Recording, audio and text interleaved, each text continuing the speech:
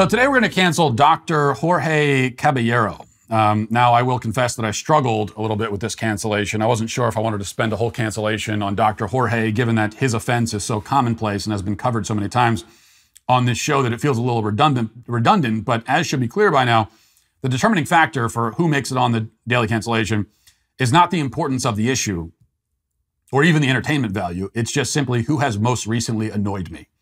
And given that, um, I saw this tweet from Dr. Jorge this morning, and um, he has made the cut. And there are a couple things here that really push push him over the top, I think, and we'll uh, we'll we'll get into that. So, Dr. Jorge is a physician with a relatively large following on social media, whose bio says, "Come for the facts, stay for the snark," and of course includes a hashtag uh, Black Lives Matter. The real M Night Shyamalan sort of twist ending here is that he doesn't have his, his pronouns listed in his bio. I'm sure I'll get around to that. I hope he does actually get around to it because we are rapidly approaching a point where anybody who doesn't list their pronouns is a transphobe by default. We might already be there, in fact. So, in any case, a couple days ago, Dr. Jorge tweeted this. He said, I would like to go into a grocery store with my three year old and not have to feel like I'm risking his life or her life. Is that too much to ask? I'd like to go to a grocery store with my three year old and not have to feel like I'm risking her life. Is that too much to ask? But wait, there's more. Uh, many of the comments responding to the good doctor's paranoid ramblings were all in agreement, commiserating with him. A quick sample Tracy says, I shudder when I see two parents taking their unmasked less than five year olds into a store. What are they thinking? And Brooke says, Two of my three kids have not been in a store or restaurant in nearly two years. Honestly, I feel like my mental health will never recover from finding out how awful the majority of Americans are about all of this. Well, I agree with you there, actually. I, th- I think we're on the same page. Marta says, so it would seem for now, um, so it would seem for now, my five year old does not remember the inside of places. Jennifer says, I hear you. Was in a Target today in Watertown, Massachusetts. Barely any masks. I was livid. Could feel my blood boiling. However, when I shop in grocery stores in Newton, Massachusetts, uh, almost everyone is masked. It's so, so hard. Another comment says, We're in full gear when we go into public. It's just the way we do it. Wouldn't it be nice if we didn't have to? And a guy named Eric says, Our 19 month old has never even been in a store. I feel, I fear he'll be too big to sit in the front of the cart by the time it's safe for him to go grocery shopping with me. And Dr. Jorge responded to that one in a follow up tweet, writing, I feel this in my soul. Kids, kids grow up so fast. It feels like the list of things that I'll never get to experience with my daughter grows longer by the day. Now, as I said, we have seen this sort of thing many times already. But here's what sent it over the edge for me.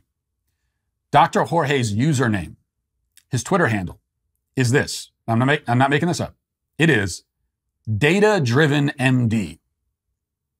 Yes, he is the data driven MD. He is driven by the data, which is why he feels that he'd be risking his daughter's life by potentially exposing her to a virus that has a 99.999% survival rate for, for kids her age. And that actually overstates the risk to her. It's not that when she goes to a grocery store that there's a, you know, a 0.001% chance that she'll die. No, 0.001% is the risk of death if she contracts the virus.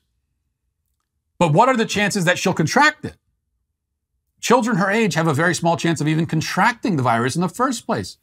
Added to the fact that most of the adults that she encounters are vaccinated, added to the fact that at a grocery store, she's not having sustained close quarters contact with anybody, added to the very minuscule lethality of the virus for her age group, and for most every age group, by the way, run the calculations with all of those percentages taken into account, and her risk of COVID death from going to the grocery store is much, much, much, much smaller than 0.001%. I wager that it's something like, you know, 0.0000001%, though even that is probably a gross overestimation. And this risk um, a risk so vanishingly tiny as to be effectively non existent has the data driven MD paralyzed with fear. The data has driven him insane, it would seem. Except it's not the actual data that has done that to him. If this data, these numbers, could incapacitate him to that extent, then certainly he would never drive a car. The car trip to the grocery store is vastly more dangerous for both himself and his daughter than the grocery store itself. He would never ride an elevator or an airplane or cross a bridge. He'd never go inside any building for fear of roofs caving in and floors collapsing. He'd also never go outside for fear of falling trees, lightning strikes, If a 0.00, et cetera, more zeros, 1% chance of death is too much to bear, then life itself is too much to bear. These kinds of risks are built into literally everything you do everywhere all the time, no matter what. Sometimes the risks are much larger. I wonder if Dr. Jorge has ever been on a roller coaster. Roller coasters are pretty safe, but your chance of injury or death is definitely greater than 0.001%. And meanwhile, it's a totally unnecessary, frivolous activity that you're paying money to participate in. Has Dr. Jorge ever been to the beach? Again, pretty safe, but there are sharks and riptides and accidental drownings. And you could avoid the beach your entire life and still live a relatively full and normal existence. Yet I bet he goes to the beach. Doesn't think about it. Has Dr. Jorge ever eaten at a restaurant?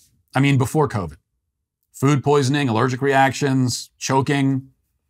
Has he ever, has he ever gone a, for a hike in the woods? Bear attacks, falling limbs. You could get lost. You could trip and break your ankle. You could get a, assaulted by a crazy drifter or, or by Bigfoot. Did you know that? Did you know that your chance of getting killed by Bigfoot in the woods is not 0%? Nobody can say that it's 0%. If you're worried about Bigfoot and you come to me and say, I'm, going in the woods, I'm worried that Bigfoot um, might attack me, do you think that that could happen? I would have to say, yeah, it could happen. I mean, it could. It probably won't. It's like really small chance, but it, it's not impossible. And given that uh, Dr. Jorge is worried about 0.00001% risks, he's, he's now in the realm of having to worry about Bigfoot. Actually, I don't want to scare him, but even if you stay out of the woods, your chance of getting beaten to death by Bigfoot is still not 0%. I mean, technically speaking, it's in the realm of possibility that Bigfoot could break into your home right now as you sit, pummel you senseless, kill your dog, set your house on fire. This could happen. The chance of that occurring is not zero. Have you taken any precautions? What is your Bigfoot home invasion contingency plan? You don't have one? What are you, anti science? See, these are all data points that the data driven MD has not taken into account, it would seem. And that's because he isn't driven by data so much as by feelings. And he even says so. Remember, he says, I would like to go to a grocery store with my three year old and not have to feel like I'm risking her life. Is that too much to ask? Which brings us finally to our answer. Yes, Doc, it's too much to ask. It is too much to ask that you be able to do something without feeling a certain way about it. It's too much to ask us, anyway. It's too much to ask the world because we can't do anything about your irrational feelings. We can't control that. It's too much to ask of us. It's not fair to us. It's not fair that we should have to do anything at all, that we should have to in any way whatsoever account for, adjust ourselves for, work around your totally unreasonable and paranoid feelings. Your feelings are your problem. They're also your child's problem, sadly.